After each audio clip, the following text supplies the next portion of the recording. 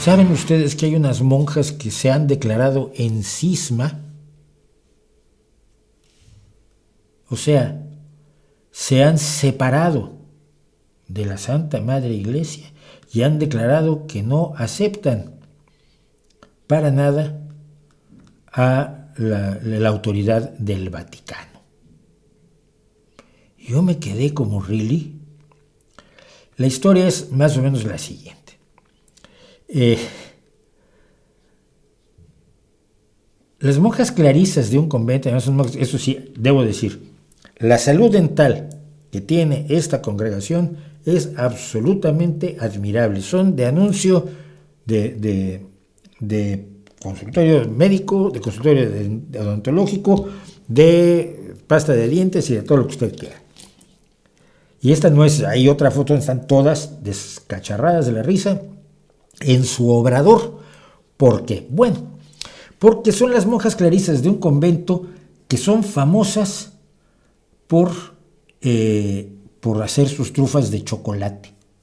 monjas así al estilo del siglo XVI, XVII, que son famosas por la comida que por, en este caso una golosina que hacen, son las monjas clarisas de Belorado, de Belorado en Burgos y de, de Burgos y Orduña, perdón, en Vizcaya, y han decidido abandonar la Iglesia Católica para pasar a estar bajo la tutela y jurisdicción de Pablo de Rojas Sánchez Franco y su llamada Pía Unión Sancti Pauli Apostoli, Santo Apóstol Pablo, que no están en comunión con Roma y cuyo fundador fue excomulgado en 2019. Parece que están celebrando los cinco años de la excomunión de este, que eh, pues, es uno de tantos que hay dentro de la iglesia y algunos no los, no los excomulgan nunca y otros los excomulgan a la primera.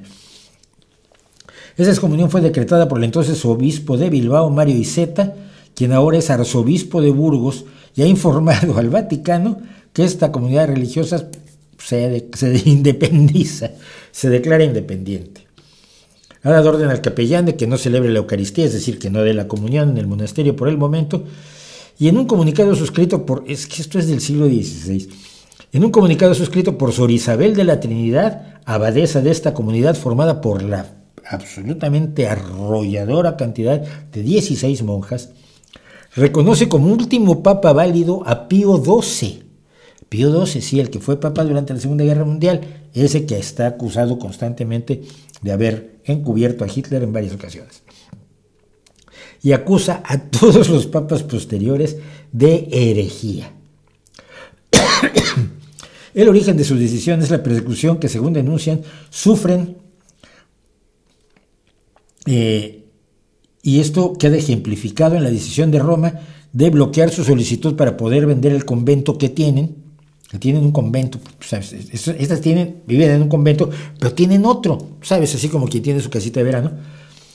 Un convento que tiene en propiedad y que está vacío en Derio, en Vizcaya, para poder hacerse frente a la compra del monasterio de Orduña, perteneciente a la diócesis de Vitoria, con la que ya tenían un acuerdo de compraventa.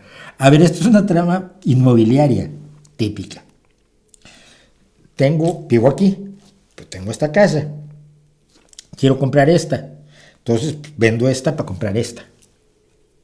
Pero el dueño, el, real dueño de esto, porque no sé si ustedes saben que las monjas hacen voto de obediencia y de castidad eh, y de pobreza.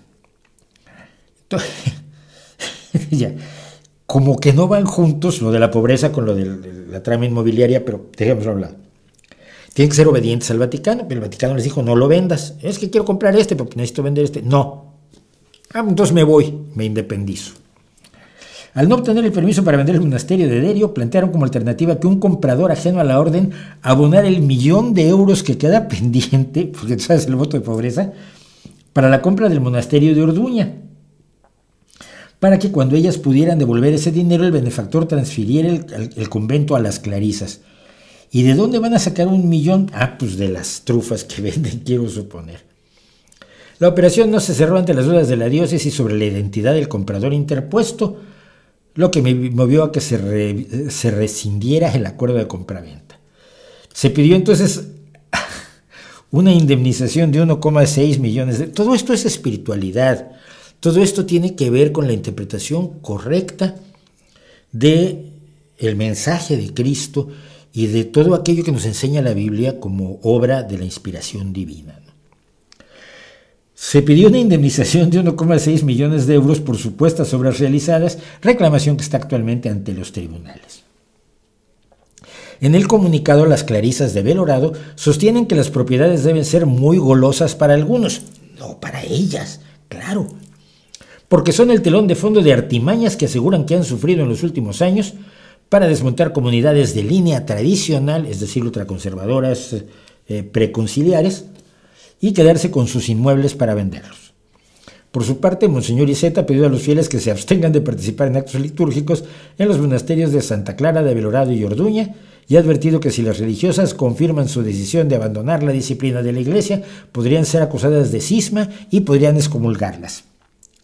Que en las inmortales palabras de Shakespeare, too late, ya se han autoexcomulgado al declarar que no aceptan la autoridad del Vaticano. Son monjas clarisas que elaboran trufas de chocolate que usted puede pagar con Bizum por voto de pobreza y salen a 11 euros la bolsa de 10 y dicen que están. Alguien que los probó y comentaba en un grupo de WhatsApp, están buenísimas, dice, sí. No olvidemos que el, platillo máximo mexicano, el mole poblano, fue producto de de, la, inteligencia, la, la tingencia y la, genialidad gastronómica de una pobrecilla monja allá en el siglo XVI o XVII, por ahí no me acuerdo cuándo fue inventado. Eh, bueno, pues se declaran en rebelión con el Vaticano y se asumen como papa a un misterioso hombre excomulgado por la Iglesia Católica en 2019, falso cura con pasado de barman, que ejerce de portavoz de las monjas desobedientes. Esto es maravilloso, un falso cura que ha sido barman, que ha sido excomulgado y que ahora las 16 monjas clarisas, estas de, de y Orduña, en Burgos y Vizcaya, han asumido como su líder. La telenovela continúa con el último capítulo. Las monjas han abierto una cuenta en Instagram con el sugerente nombre Te hago luz y, es este, pero no es cierto porque este parece que no es de ellas, porque dice, hermanas llamadas sismáticas, encerradas, secuestradas, manipuladas y alejadas de sus familias. Pues quien dice esto de ellas parece que no es su propio Instagram. Y luego no están, están bloqueados los comentarios, entonces no pude comentar en el Instagram para preguntarles cómo iba esto, porque de las 16 monjas tengo allá 3, 4, 5, 6, 7, 8, 9, 10 y no hay ninguna tomando la foto, porque la que está sí, esa es, la, que está tomando la foto. Eh, así que bueno, eh, cismas a estas alturas de la vida, y, pero sobre todo por, eh, por, motivos meramente monetarios y, y, crematísticos, ¿no?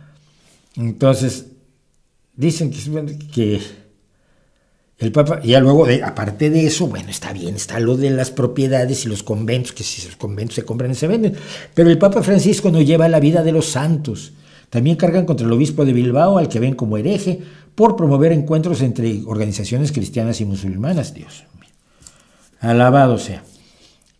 Eh, y Segura, por su parte, el obispo de Bilbao dice que las monjas están siendo manipuladas. Vamos, todo en un, en un ambiente en un estorno de amor cristiano, de caridad y comprensión como la que Cristo ha predicado, aparece el millón de euros. Y mira, como decía un amigo mío, no hay, no hay poder más grande en el mundo que un millón de euros, salvo el de dos millones de euros. Entonces, bueno, pues esta es la historia de las monjas cismáticas, que todavía no se ha hecho absolutamente nada al respecto, pero se lo están pensando en qué tienen que hacer los, los encargados de la iglesia de Burgos. Hojas sismáticas a estas alturas.